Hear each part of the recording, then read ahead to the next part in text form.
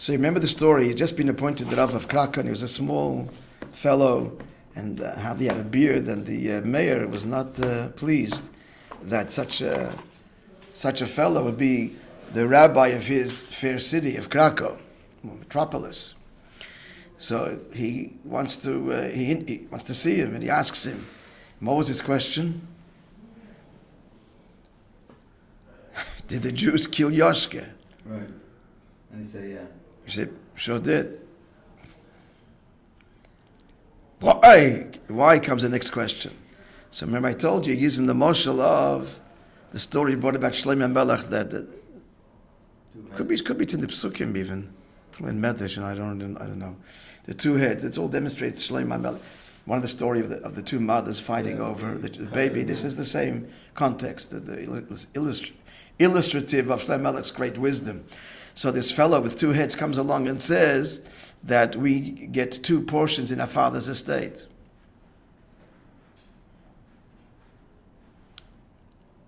So what did Shlomo Melech paskin? Pour boiling water. Remembering this as a child. Pour boiling water on one of the heads. If both cry out, it's one person. Ouch!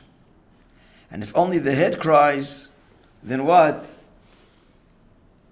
Then it's talking two people, and you're right. And so that's what they happened. That's what the end of the story was that both of the heads cried out, "Ow!" And uh, that was the end of the story. So it's only one person. So the Ramah said that this is the, the Trinity. They're saying that God's divided. Yeah. So he wanted to test and see if the Abishter will give a geshrei after Yoshka's uh, no, all quiet. So this was the test. He says that uh, he's no he's no divinity. He wanted a test that if we killed him to see if the Abishter will cry out or not.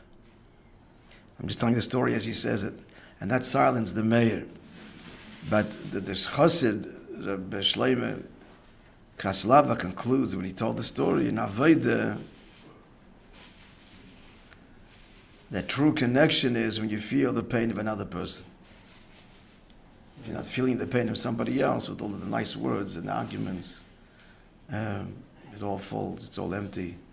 If there isn't that true empathy, that's, that's the, the takeaway from the story. Okay, friends, have a wonderful day.